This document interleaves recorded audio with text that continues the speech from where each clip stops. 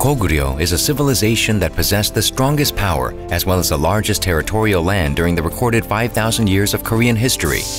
Today it captures the global spotlight with its magnificent and refined cultural heritages.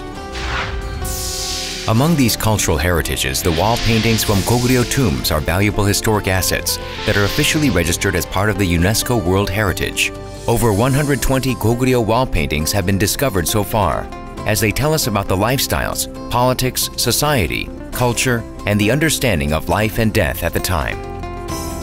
Particularly, the wall painting from the ancient tombs in Deokheungri, discovered in 1976, has captured national and international attention for its remarkable preservation of details, variety, and vast amount of epitaph. The Deokheungri tomb, located in Deokheungri of the Gangso district in Nampo City, Pyongan province, is a dual-chamber tomb with an entranceway and the front chamber, continued by a short passage leading to the main chamber where the coffins lay. The ceiling of the front chamber is in the shape of a domed arch, and the uppermost part of the arch is completed by successfully smaller parallelograms. The front chamber is decorated with a military procession scene, a portrait of Jin, who is the tomb occupant, a depiction of 13 governors from Yuju, and a painting of a shogunate government official. The portrait of Jin is considered the most significant focus of this front chamber. The portrait of Jin is located on the northern wall to the left of the passageway and the next of the portrait is 13 governors congratulating on Jin for his appointment. There is a lengthy calligraphical paintings above the entrance which confirms that Jin held the position as a Governor General of Yuju. On the wall facing east, a mural of a long four-road ceremonial procession is depicted. The people marching to the right are depicted without any overlapping to show the overall appearance of the procession.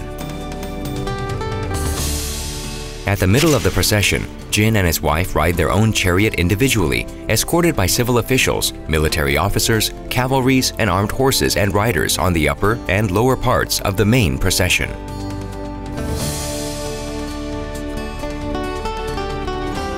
On the wall facing west, a painting depicting 13 governors can be seen paying their respects to the occupant of the tomb, which consequently presents a general idea on what life as a government official was like. The officials from each division of Yuju on the mural of the south wall of the front chamber are depicted as being in a more casual atmosphere than that of 13 governors. On the west wall of the passage that connects the front chamber to the main chamber, a painting depicts going out of the deceased couple.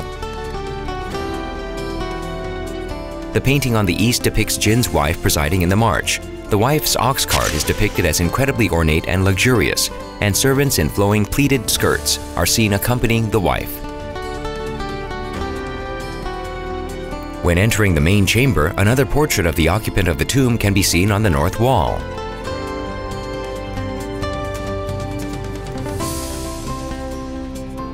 The empty space to the right of Jin was intended for his wife. But no portrait of her can be seen because it is believed that she had died much later. Paintings such as these, where a married couple are depicted sitting next to each other, became a popular trend in tomb paintings during the mid-Goguryeo era. On the east wall of the main chamber, a mural of the offering of seven precious gems is presented, demonstrating a strong influence of Buddhism. On the upper left section of the wall, there is a painting of a pond with two large lotus flowers blossoming. This painting portrays the forest of the seven gems, where the gems are hanging by the lake in the land of enlightenment. Just as Jin described himself as a follower of Sakyamuni Buddha, he created this wall painting in hopes of achieving successful reincarnation into the next world. As the influence of Buddhism became widespread within the Goguryeo kingdom, the use of Buddhist elements in wall paintings increased as well. On the west wall, there is a painting depicting archers on horseback. This painting, which shows armored warriors shooting arrows on horseback, is evaluated as an important piece showing the recreational pastime culture of the time. The domed ceiling in the antechamber portrays elements that symbolize the afterlife.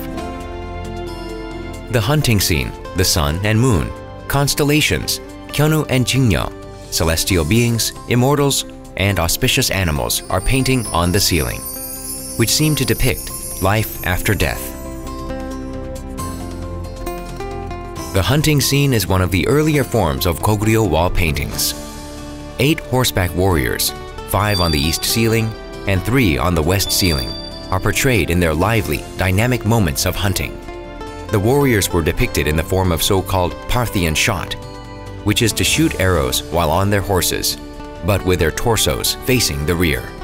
Underneath the painting of hunting, there are mountain peaks in the shape of the Chinese character for mountain, suggesting that the warriors are hunting in the mountains. There are also depictions of winged fish, two-headed birds, a heavenly horse, the sun and stars scattered across the painting.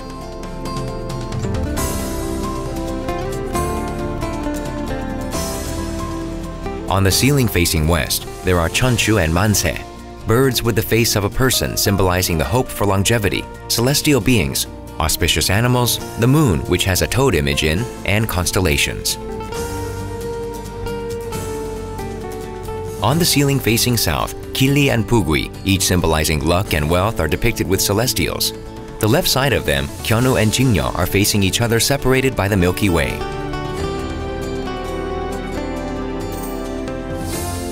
On the ceiling facing north, there are pictures of auspicious animals such as the winged horse, Chunjak, Pagui, etc., and the Big Dipper.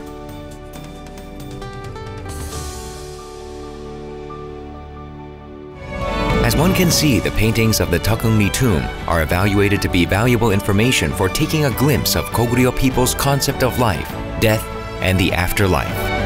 The wall paintings in the ancient tombs of Deokheungri are valuable historic data that reveals the society of Goguryeo. In addition to the dynamic paintings that show the spirit of Goguryeo people, various paintings such as portraits, mountain, hunting, and other aspects of life are considered as valuable resources for understanding the development of Korean painting. From the tomb occupant's government official position to mythical beings in the celestial sphere, the wall paintings are valuable resources that reveals to us the Goguryeo people's perspective towards life, the universe, and even the afterlife.